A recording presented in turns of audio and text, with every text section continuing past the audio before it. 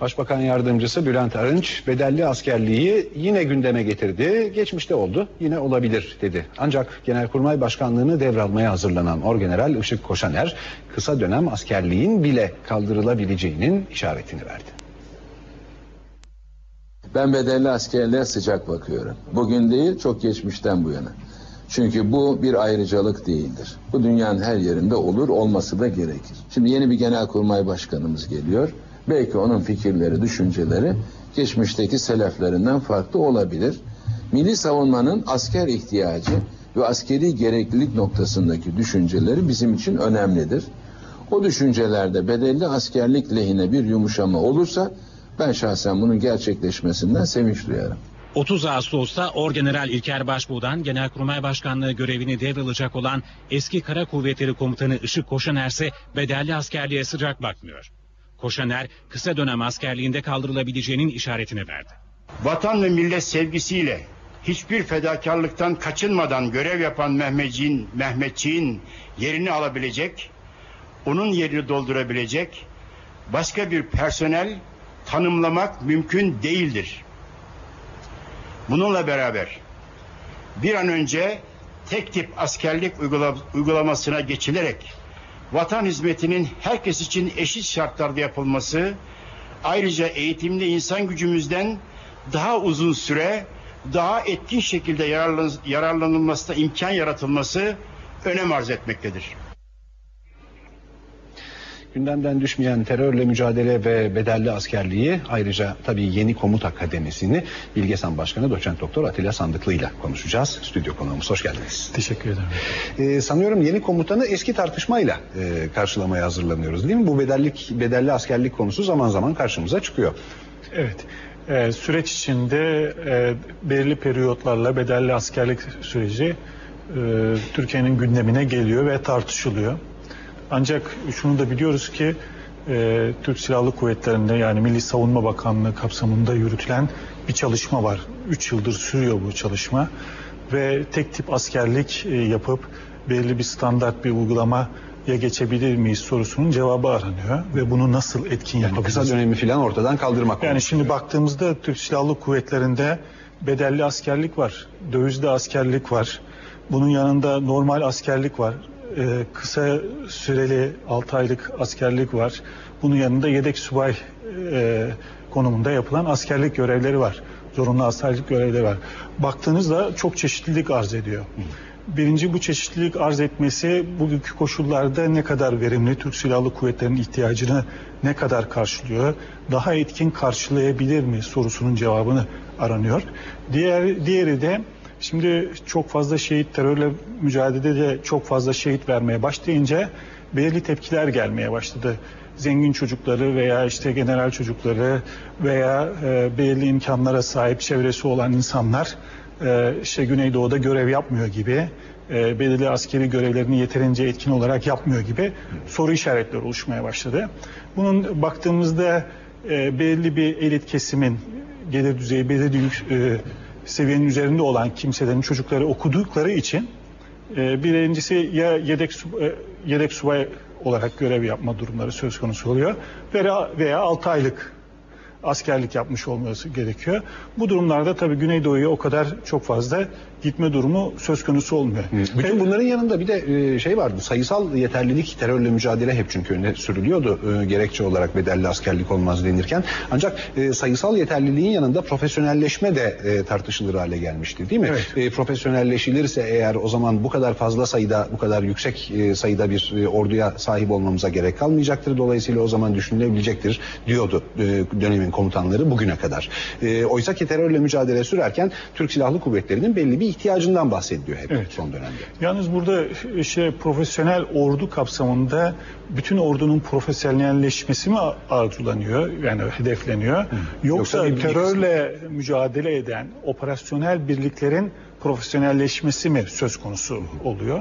Burada baktığımızda Türk Silahlı Kuvvetleri'nin bütün e, erlerinin profesyonel hale gelmesi söz konusu değil ki bunu e, Sayın Genelkurmay Başkanımız da yeni Genelkurmay Başkanımız da konuşmasında açıkladı. Doğru. Mehmetçik ana unsurdur dedi. Son dönemde de ee, sınır birliklerinden bahsediyor. Şimdi olmuş. özellikle bundan önce başlamış olan iki yıl önce başlamış olan e, komando 5 tane komando tugayının vurucu elemanları yani operasyonel kol kuvvetlerinin profesyonel hale getirilmesi vardı. Sevindirici bir haber bu e, unsurlar tamamen profesyonel hale gelmiş. Ancak bir gerçek daha da var. Jandarma e, unsurlarına da bağlı. Bu karakol e, görevlerinde bulunan unsurların da terörle mücadelede sık sık temas sağlamasından dolayı bunların da profesyonel hale getirilmesi konusu gündeme geldi ve bu gündemde de bu çok temasa geçen karakollardaki sınır bölgesindeki karakolların da profesyonel hale getirilmesi söz konusu. Ama Şimdi bunun ama tek tipe gidiyoruz öncelikle. Efendim? Şimdi tek tipe gidiyoruz. Ee, şimdi öncelikle. Diğer unsurlar Mehmetçik devam edecek. Yani Mehmetçik dediğimiz zorunlu askerlik sistemi devam edecek. Burada da dediğimiz gibi bugüne kadar uygulamalarda çok farklı uygulamalar var. Bu artık e, toplumda da adalet duygusunun nasıl gelişmesi konusunda e, bazı tartışmalar da söz konusu. Ama bir de bir gerçek var. E, bu adalet duygusunu şey yaparken e, belirli dengeleri herkese eşit duruma getirirken bunları silahlı kuvvetlerde etkin olarak nasıl kullanabilirimizin de cevabını almamız lazım. Peki izninizle burada bir duralım. Ee, Ankara'nın nabzını tutan gazetecilerden birisi de canlı yayınımıza e, katılacak. Sabah gazetesi Ankara temsilcisi Okan Müderrisoğlu'yla e, birlikteyiz. E, Okan Müderrisoğlu'na da bir hoş geldiniz dedikten sonra Bülent Arınç'ın sözleriyle bedelli askerlik yeniden gündeme geldi diye hatırlatıp Ankara'da e, nelerin konuşulduğunu, e, ne durumda olduğumuzu soralım. Aslında Ankara'daki en sıcak gelişme dün Kara Kuvvetleri Komutanlığı'ndaki devir teslim törenindeki mesajlardaydı. Bir yandan Genelkurmay Başkanlığı görevini yarın devralacak olan Orgeneral Işık Koşaner'in tek tip askerlikle ilgili çalışma perspektifi vardı ve bir yandan da Kara Kuvvetleri Komutanlığı görevini üstlenen Orgeneral Erdal Ceylanoğlu'ndan gelen mesajlar vardı. Ankara'daki genel hava aslında bir yandan bu bedelli askerlik tartışmalarıyla paralel bir süredir zaten yürüyor. Aslında o bedelli askerlikle ilgili de organize bir grup var. Ee, Beklenti ve ihtiyaçlarını kendilerince sürekli gündeme getirip canlı tutuyorlar. Bir yandan da Türk Silahlı Kuvvetleri'nin nasıl yapılanması gerektiği konusunda e, zaman zaman abartılı da olsa görüşleri, tepkileri de var. Sayın Arınç'ın tabii sürece dahil olması önemli. Çünkü Sayın Arınç zannedersem tek tip askerlik çalışmalarına ilişkin bir takım değerlendirmeleri de zaten başbakan sıfatıyla da bildiği için geleceğe matuf bir değerlendirme yaptı diye tahmin ediyorum. Şöyle ki tek tip askerlik konusunu daha çok Türk Silahlı Kuvvetleri'nin eğitilmiş insan gücünden fazlasıyla faydalanması ve bir yandan da adalet duygusuyla da açıklayan yeni komuta kademesindeki yaklaşımı biz dün dinleme fırsatı bulmuştuk. Oradan hareket ediliyor. Eğer e, Türk Silahlı Kuvvetleri tek tip askerlikle yükümlü ihtiyacını karşılayabilecek duruma gelirse ki bunun için 2011-2012 perspektifi var. Ondan sonra bedelli askerliğin düşünülebileceği ifade ediliyor. Bedelli askerliğe taraf olup olmama meselesi değil. Türk Silahlı Kuvvetleri'nin verdiği bilgilere itibar etme zorunluluğumuz var. Sonuç itibariyle Milli Savunma Bakanlığı Asker Alma Dairesi ile birlikte Genelkurmay Başkanlığı'nın ihtiyaç planlaması noktasından hareket ediliyor. Ve ordu bütünüyle profesyonelleşsin görüşü var. Ama ben Türkiye Cumhuriyeti'nin bulunduğu coğrafyada böyle bir yapılanmayla bu yakın dönemde hareket edebileceğini düşünmüyorum. Az önceki konuşmaları da takip ettim. Ben de dikkatli bir şekilde.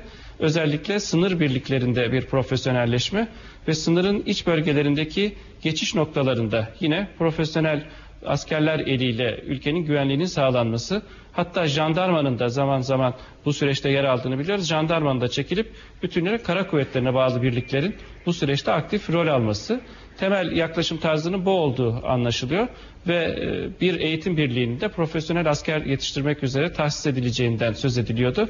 Öyle anlaşılıyor ki o süreçte tamamlanmış vaziyette.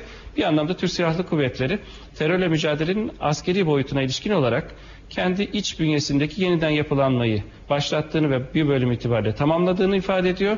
Öbür yandan genel askerlik düzenlemesini bedelli askerlik tartışmalarını da belki dikkate alarak yeniden yapılandıracak çalışmasını da başlattığını biliyorduk. Onu da bir olgunluk düzeyine doğru en azından önümüzdeki bir yıl içinde getireceğini anlıyoruz biz. Atilla Sandıklı'ya soralım öyleyse bu tek tip nasıl olacak?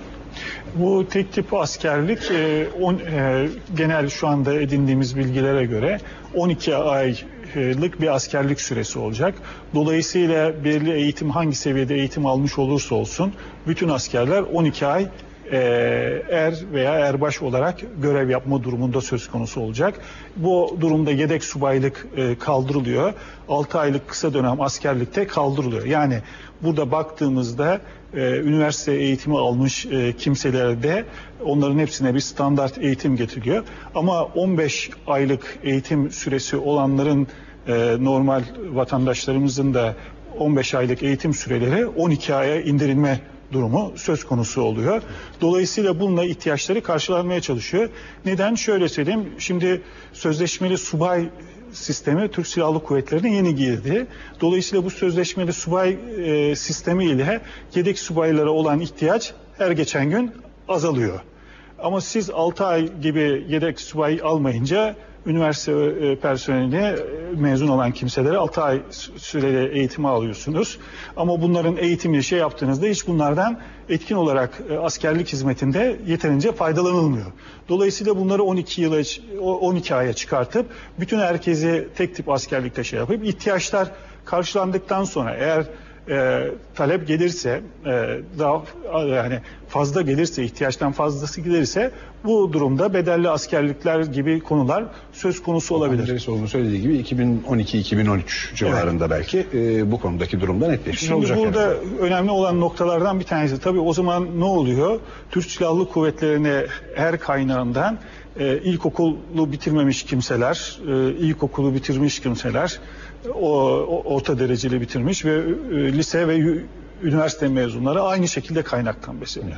Önemli olan noktalardan bir tanesi bu kanunun çıktıktan sonra bunların etkin olarak Türk Silahlı Kuvvetleri e, içinde e, bu eğitim farklılıklarını uygun şekilde değerlendirecek ve Türk Silahlı Kuvvetleri'nin etkinliğini artacak şekil, arttıracak şekilde görev alanlarına yönlendirilmesi gerekiyor. Yani burada iki çalışma var. Bir kanunun çıkartılması, e, kaynak ihtiyacına göre askeri alma sisteminin yürütülmesi. İkincisi bu alınan askerlerin e, Türk Silahlı Kuvvetleri'nin e, er ihtiyacını karşılayacak ama eğitim seviyesini, bilgi seviyesini, niteliklerini de dikkate alacak şekilde uygun ihtiyaç yerlerine dağıtılması sisteminin aynı anda yürütülmesi gerekiyor paralel olarak ki bu sistemden etkin olarak e, faydalanabilirim. Örneğin bir topçu e, ateş idare sisteminde e, ilkokul veya ortaokul mezunu bir insanın onu öğrenmesi etkin olarak yerine getirilmesiyle üniversiteden mezun bir mühendis kimsenin onu yerine getirmesi arasında çok büyük bir farklılık var. Tabii ki e, üniversite personelinde orada kullanılması mühendislikte o topçu atış sistemlerinin çok daha etkin olarak çünkü hepsi modernleşiyor artık. Yani elektronik sistemleri kullanıyorsun. Hepsi modernleşiyor. Dolayısıyla böyle teknolojik ve eğitim seviyesi yüksek olan e, yerlerde bu üniversite mezunu kimseleri kullanmak, eğitim sistemlerine uygun olarak daha e, farklı yerlerde de diğer e, askere alma sistemleriyle gelen yükümlüleri kullanmak e, Türk Silahlı Kuvvetleri'nin etkinliğini de artıracak. Tabii toplumda bu şeyi de azaltacak. Yani farklılıklardan dolayı Türk, ya herkes eşit askerlik yapmıyor gibi bu tepkileri de azaltacak. Adalet duygusunu söylüyorsunuz. Peki Okan Biderisoğlu burada hem personelin etkin biçimde kullanılması e, hem de e, adalet duygusunun sağlanması var değil mi? Çok doğru aslında bu az önceki analizi ben de bütünüyle e, dikkatle dinledim ve katıldığım hususlar var içinde. E, şöyle ki bu tek tip askerlik 12 ay ya da daha az bir sürede olabilir ihtiyaç planlamasına göre. Dolayısıyla bir yandan bir zaman yönetimi hangi aralıklarla asker alacağınız boyutu ama bence bundan çok daha önemlisi aldığınız askerlerin insan kaynağı planlaması nasıl yapacağınız. Doğrudur. Çoğu okuma yazma bilmeyen insan da belki köyünden çıkıp askere geliyor. Ama aynı zamanda e, akademisyen seviyesinde bilgi sahibi olan insanlar da doğal olarak askere geliyor. Aslında eğitim düzeyi arttıkça bir an önce askere gitme eğiliminin de giderek azaldığı bir tabloyu yakın çevremizden görüyoruz. Olabildiğince tecil ettirme, master, doktora gibi süreçlerle hatta yurt dışındaki eğitim ve çalışma olanaklarıyla askerlikle ilgili yükümlülüğü azaltmaya dönük bir süreç. Dolayısıyla Türk Silahlı Kuvvetleri'nin gerçek anlamda yeniden yapılanması yükümlü yani zorunlu olarak askerlik yapanların eğitim durumlarına göre ve Türk Silahlı Kuvvetleri'nin ihtiyacına göre değerlendirilme biçimlerinde ortaya çıkacak. Temel eğitim kuşkusuz gerekli ve alınacak. Sınırda zaten profesyonel, iç bölgelerde zaten profesyonel askerler görev yapacak. Ama diğer hizmetlerin yerine getirilmesi ve yurt savunmasına ilişkin temel bilgilerin aktarılmasında bilgi düzeyine göre insan kaynağı planlaması yapılması konusunda önemli bir çaba olduğu anlaşılıyor ki bence işin en önemli noktası bu. Askerlik yapanlar bilir. Bu sadece askerlik dönemiyle sınırlıdır. Ondan sonra sohbetlere konu olur ama adalet duygusu dediğiniz için ben de vurguluyorum. Uzun dönem diye tabir edilen şu anda 15 ay olan askerliği yapanlar için Mehmetçik tanımlaması vardır. Bu askeri birliklerin içinde işte yükümlü askerler arasında çok konuşulur. Kısa dönemler biraz daha ayrıcalıklı gibi algılanır. Onlara Mehmet Bey diye ifade edildiği söylenir. Ve nihayet işte bedelli askerlik yapanlar ise zaten çok kısa bir süre ve parası karşılığı da yaptığı için onlar da Mehmet Ağa diye tanımlanır şeklinde askerlik yapanların hepsinin bu yönde anıları ve bilgileri vardır. Bu adalet duygusu da çok önemlidir. Gerçekten ben de askerlik yaparken iç içe geçtiğim insanlarda niye benim daha az bir süre yükümlü olduğuma ilişkin kendilerince yaptıkları sorgulamaları bugün bile hatırlıyorum. Doğrusu eğitim çok önemli. E, Eğitime göre bir farklılaşma olması lazım. Ama bu insan kaynağı planlamasında olabilir. Zaten ben e, ve benim gibi dönemde olanların bazıları 8 ay yapmıştı. Muhtemelen 9-12 ay arasında bir süre olacak askerlik ve öngörülebilir ve planlanabilir bir süreç olacak. Bu çok daha faydalı olur. Türk Silahlı Kuvvetleri'nin bu farkındalığı çok üst düzeyde. Toplumun da beklentileri bu yönde. Yoksa e, TSK'nın imajı diye ifade edilen konu sonuç itibariyle işte yeterince eğitim almayan gariban askerlerin işte terörle mücadelede ve maalesef pisi pisine öldüğü yöndeki iddialarla çok sarsılıyor. Halbuki dün yeni Kara Kuvvetleri Komutanı dedi ki sadece askeri eğitim bizim temel birliklerde verdiğimiz şu kadar süreli eğitim değil ki askerliğin tamamı ve bitinceye kadar aslında kendini yenileyen ve devamlı eğitimi içeren bir süreç. Doğru aslında bu. O eğitimin niteliği ve kalitesiyle ilgili gözden geçirmeler gerekli. Dolayısıyla imaj da Türk Silahlı Kuvvetleri bakımından büyük ölçüde bu yeniden yapılanmaya paralel olarak buradaki bazılarında kasıtlı olduğundan hiç kuşku duymadım. Eleştirileri de ortadan kaldıracak şekilde yeniden çok üst düzeyde artacaktır. Türk Silahlı Kuvvetleri'nin toplumsal sempatisi ve algılaması belli bir düzeyde ama bunun zaman zaman inişli çıkışlı grafiği var. Askerlikle ilgili yeniden yapılanma, terörle mücadeledeki profesyonelite ben siyaseten hükümetlerin, bu hükümetin değil sadece hükümetlerin ama genel olarak Türkiye'nin bekası açısından Türk Silahlı Kuvvetleri'nin imajına çok olumlu katkı yapacağını düşünüyorum. Peki. Ee, Okan Müderrisoğlu, Atilla Sandıklı teşekkür ederim.